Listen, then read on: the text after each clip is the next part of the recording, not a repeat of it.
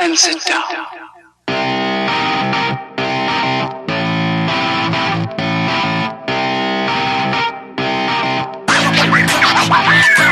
Okay.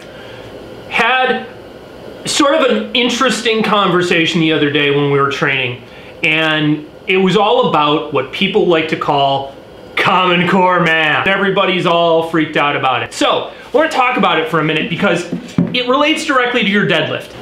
Common Core is not a curriculum. Common Core is a set of standards. The curriculum that you see when your kids come home with math homework that you don't understand was created by a publishing company, probably by Pearson. It was created by a publishing company as a way of addressing those standards. So when we get annoyed with curriculum, remember that we need to be aware of where the curriculum comes from. And just saying, well, it's Common Core math and I don't like it because I don't understand it, it doesn't help you. It doesn't help your kid, it doesn't help anybody. What I can say is this when my son, who's now heading off to college pretty quick, was coming home with Common Core math years ago, I didn't understand it. I benefited from having a wife who was a primary grade teacher. And what she explained to me was that the way math works, the way this Common Core math curriculum works, is it's all about process. It's about teaching kids how to get to an answer as opposed to just memorizing. And that can be frustrating for us as parents because we didn't learn it. But here's what I can tell you. I stopped and I took a step back and I went through the math with him and I relearned how they were teaching math now.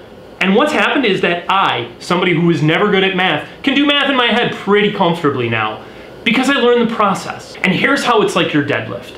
When you go to move, when you go to move, what happens is if you are thinking about a result, your movement is going to break down more quickly than if you're thinking about a process. And this is the same thing as what we're talking about with kids learning math in this new Common Core curriculum. What they're learning is a process. So at the outset, their results, the numbers they get and how quickly they get them, aren't coming as quickly. But what's happening is that we're setting them up for success in the long run. The same thing applies to your deadlift. If you are focused on the result, how much weight is on the bar and how fast you pull it at the outset, you are going to ingrain inefficient, ineffective pattern. An ineffective, inefficient pattern for math is memorization.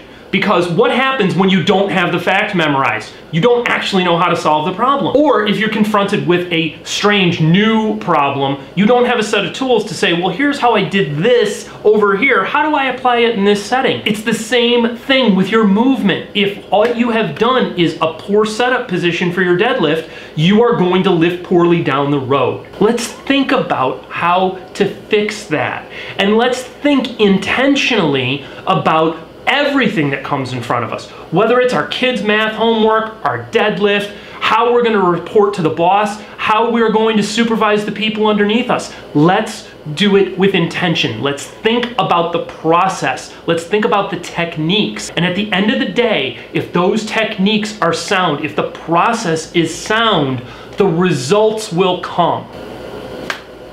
Process. Think about process. And if you can do Common Core math, your deadlift will get better. Or at least it'll be easier to load the plates. And for some people I know, just doing the gym math would be a huge step in the right direction. You know who you are. As always, thanks for taking some time to hang out. I hope you have a great day. We'll see you soon. Cheers. Shut up and sit down.